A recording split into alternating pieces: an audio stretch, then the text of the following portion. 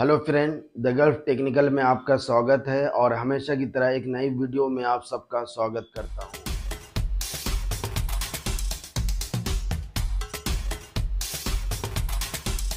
आज का जो हमारा टॉपिक है, जैसा एक भाई ने कमेंट किया कि कंट्रेक्शन लाइन के बारे में बताए।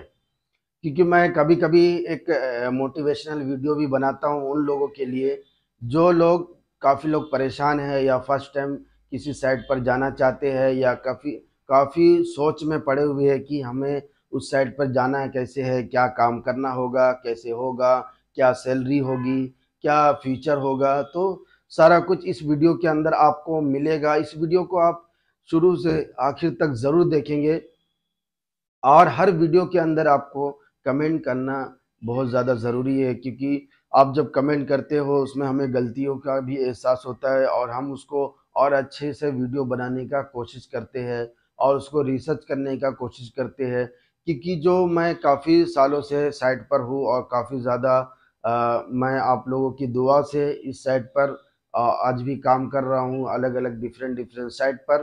तो जो हमें जो नॉलेज है जो हमारा एक जो एक्सपीरियंस है वो आप लोगों को मैं शेयर करता हूँ इस वीडियो के माध्यम से। तो इसलिए आप कभी भी वीडियो देखते हैं तो आप कमेंट ज़रूर करें। अगर आप लाइक नहीं करते, कम से कम एक कमेंट ज़रूर करें, लेकिन उस कमेंट में आपका जो क्वेश्चन है वो ज़्यादा लंबा ना हो। तो जैसा कि कंट्रेक्शन लाइन अगर हम, मैं जैसे फॉर एग्जांपल अगर मैं फ़र्स्ट टाइम हूँ तो अगर आपको चांस लग रहा है कंट्रेक्शन लाइन में तो आप वहाँ पर जाइए। आपको कोई भी जॉब जो आया हुआ है, जो ऑफ़र आपके पास आया हुआ है, आप कभी भी उसको ठुकराना नहीं चाहिए। जैसा फॉर एग्ज़ाम्पल एक कहावत है, कहते हैं कि कोई भी काम छोटा या बड़ा नहीं होता है।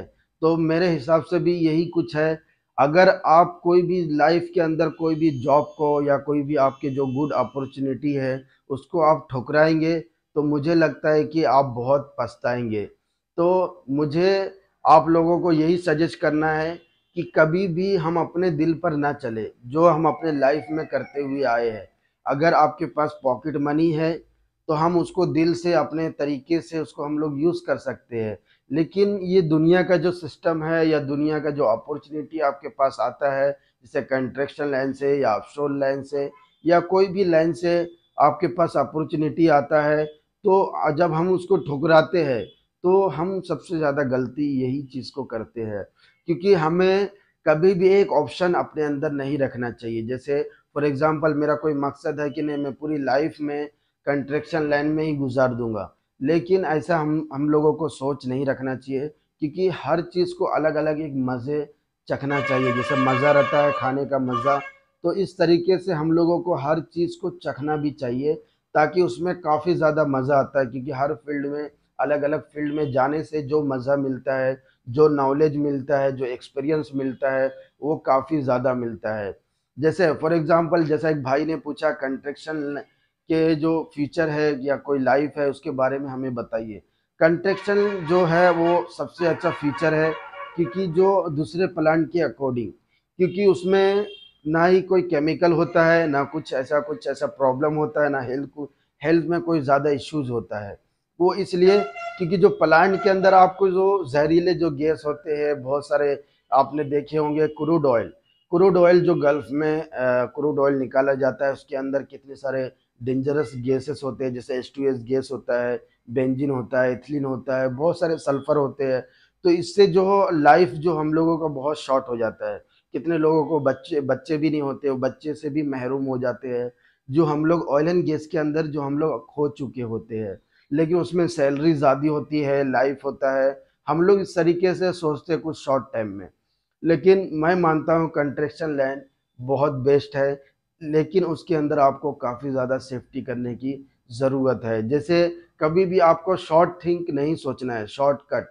और दूसरा, कम्युनिकेशन को गैप नहीं करना है और उसके अंदर सेफ्टी को अच्छे से फॉलो करना है। और उसके बाद कभी भी आपके पैनिक नहीं होना है, कोई भी काम करने के लिए, कोई भी साइड पर रहे, आपको कभी भी पैनिक नहीं होना है। पैनिक मतलब आपको कोई भी टेंशन नहीं करना है। अगर आपको कोई फैमिली प्रॉब्लम है या फैमिली से कुछ ऐसा इश्यूज़ है, कभी भी आप उसको प्लान के अंदर जब घुसते हो तो उसको कभी भी हमको निकाल देना चाहिए।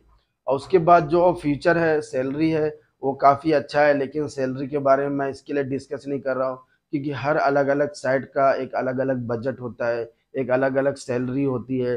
जैसे पंद्रह हज़ार, दस हज़ार ऐसा हर वर्कर से चालू हो जाता है, जैसे वर्कर कैटेगरी या लेबर कैटेगरी में, या ऐसा वेल्डर कैटेगरी में बीस हज़ार, पच्चीस हज़ार, इस तरीके से मैक्सिमम तक जाता है। तो इसलिए मैं कह रहा हूँ कि कभी भी आप फ्यूचर के बारे में जो पूछ रहे हैं, या कंफ्यूज हो, या कोई भी फ़र्स्ट जो बंदा है, जो अभी स्कूल से पढ़कर आया हुआ है, अगर वो जाना चाहता है एजुकेशन ख़त्म करने के बाद, वो बिल्कुल जा सकता है कोई भी साइट पर, कोई भी प्रोजेक्ट में, लेकिन एक बात आपको ज़रूर ध्यान देना है कोई भी साइट पर आप काम करने के लिए जा रहे हैं एक नॉलेज पर्पस के लिए आपको हर साइट पर ज़रूर जाना चाहिए क्योंकि इसमें आपको एक नॉलेज मिलेगा इसमें आपको एक एक्सपीरियंस मिलेगा जो एक एक्सपीरियंस आपको काफ़ी काम आएगा। वह एक्सपीरियंस कहाँ कहाँ काम आता है? जैसे आप इंटरव्यू में गए कोई इंटरव्यू में बोलता है कि आ, मेरे को जो कैंडिडेट चाहिए वो ऑयल एंड गैस एक्सपीरियंस वाले ही चाहिए। तो अगर आप हर फ़ील्ड का एक एक एक्सपीरियंस रखते हो तो आप, मुझे नहीं लगता है कि आप कहीं बैठ पाएँगे घर पर। आपको हमेशा जॉब कुछ ना कुछ रहेगा। अगर आप कहीं वहाँ पर कंस्ट्रक्शन लाइन का जॉब निकला तो वहाँ पर क्लाइंट जो बोलेगा, जो हमारे को कैंडिडेट कैंडिडेट चाहिए, वो कंस्ट्रक्शन लाइन का सिविल लाइन का रीगर चाहिए या कंस्ट्रक्शन लाइन का रीगर चाहिए। अगर आपके पास एक्सपीरियंस है, वो आप फट से शो कर सकते हैं। और उसके बाद अफशोर है अफशोर का भी अगर आपके पास एक्सपीरियंस है तो वहाँ पर कैंडिडेट एक आपको एक रिक्वायरमेंट निकालेगा। निकालने के बाद उसके अंदर लिखेगा ओनली फॉर अफशोर के लिए। जिसके पास एक्सपीरियंस है वही इस इंटरव्यू को अटेंड कर सकते हैं। तो कहने का मतलब यही है कि आपको जहाँ भी चांस मिल रहा है, जहाँ भी आपको अपॉर्चुनिटी मिल रहा है, वहाँ पर आप जाइए और बिल्कुल भी अच्छे से काम करिए। अपने आप से कभी भी क्वेश्चंस उतना मत पूछिए। आप कभी भी अपने लाइफ के अंदर मोड़ कर भी मत देखिए। आप उस चीज़ उस लाइन में, उस आगे में बढ़ते जाइए काम में जितना नॉलेज आप लेंगे, उतना आप आप लोगों के लिए काफ़ी अच्छा है। कोई भी इंटरव्यू आप इजीली पास कर सकते हैं क्योंकि आपके पास काफ़ी एक्सपीरियंस है, आपके पास काफ़ी ज़्यादा नॉलेज है तो इसलिए आप कोई भी इंटरव्यू को अच्छे से क्रैक कर सकते हैं, तोड़ सकते हैं या जैसा बोलूँ तो आप उसको पास कर सकते हो।